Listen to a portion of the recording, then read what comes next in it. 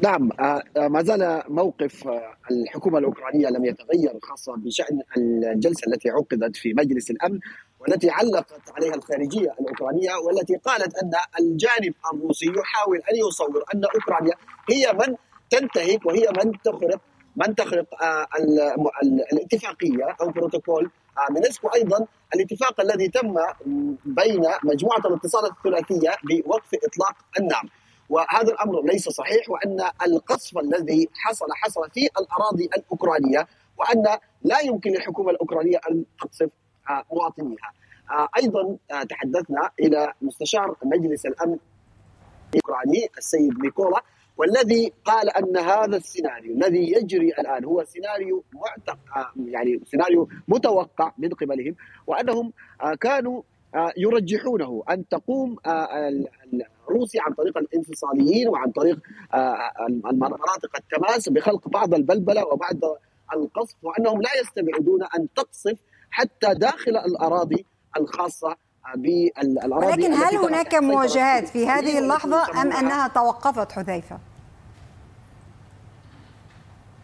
نعم يعني لا أستطيع أن أقول في هذه اللحظة تماما ولكن اليوم وبالأمس يعني في خلال ال 24 ساعة الماضيه كان هنالك ما يقارب الستين آه، خرقا آه، أو انتهاكا كما تسميه الحكومة الأوكرانية أو الجيش الأوكراني. آه، كان هنالك إطلاق نار متبادل وتمسكت الحكومة الأوكرانية والجيش الأوكراني بحقه في الرد وقال أنه لا يستخدم أي أسلحة محظورة بحسب الاتفاقات الدولية ولكنه يتمسك بحقه في الرد في حال حدث أي هجوم، أيضا اليوم كان هنالك بيان للقائد الأعلى للقوات المسلحة الأوكرانية والذي قال أن لديهم معلومات بأن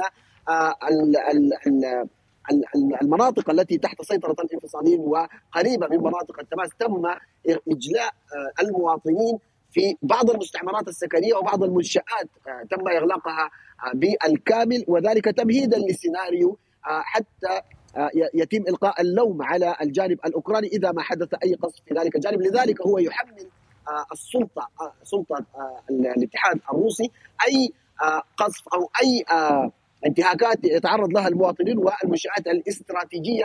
ويقول أن ذلك آه، فقط آه، يستخدم كذريعة من أجل آه، حدوث اجتياح على الأراضي الأوكرانية. هذا والجيش الأوكراني يقول أنه لن يرد على هذه العمليات حتى اللحظة. هذا هو قراره حتى اللحظة.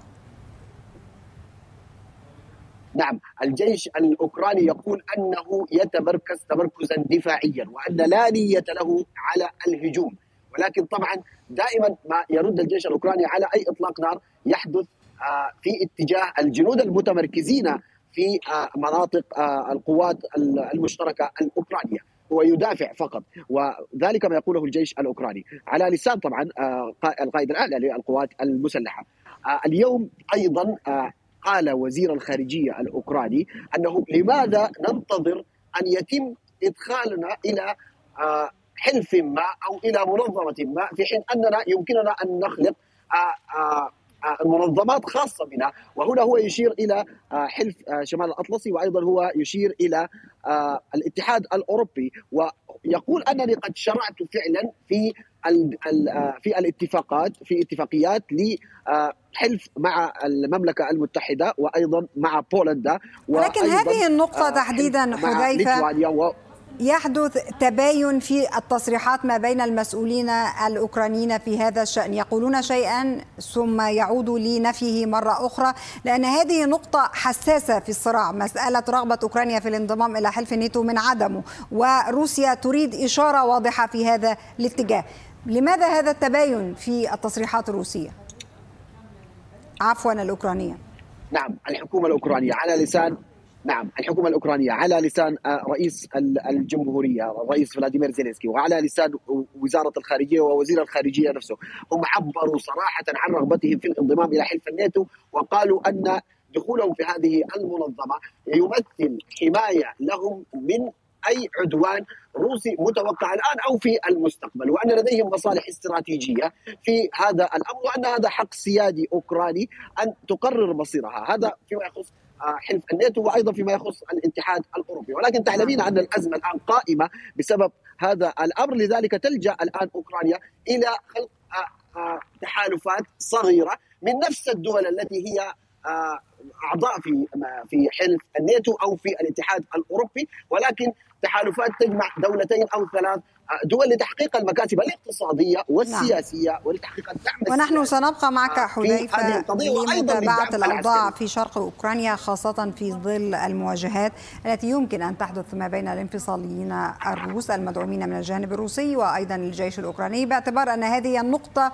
الساخنة التي يمكن أن يشتعل الصراع من خلالها